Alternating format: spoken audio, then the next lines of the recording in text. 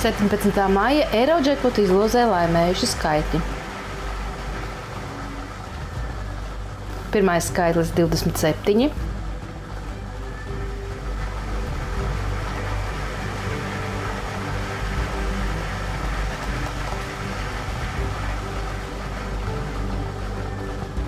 Otrais izlozētājs 33.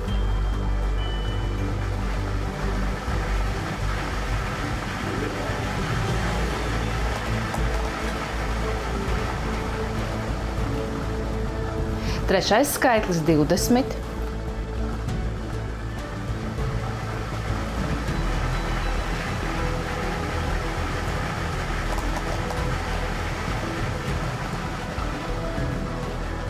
Ceturtais skaitlis 46.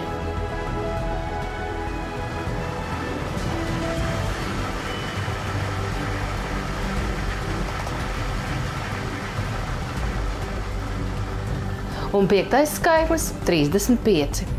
Un tagad izlozēsim papildus skaitļus.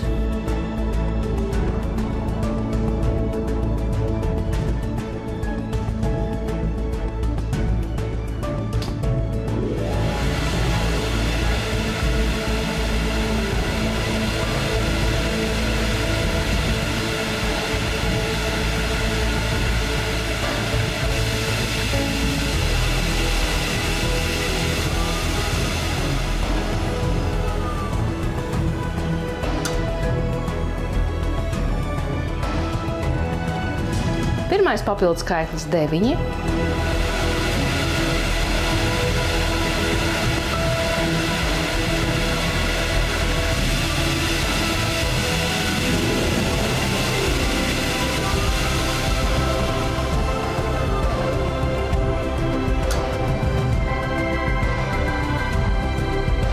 Un otrais papildus skaitlis - 5. Eirodžekpot izlozē laimējuši skaitļi 20, 27, 33, 35, 46 un papildus skaitļi 5 un 9. Kā tad veicies šīs nedēļas Eirodžekpot izlozes dalībniekiem? Piecus skaitļus un divus papildus skaitļus nav uzminējis neviens spēlētājs, un šeit arī pārējās laimastu grupas un laimasti. Eirodžekpot uzkrājuma prognoze nākamajai izlozē - 21 miljonus eiro.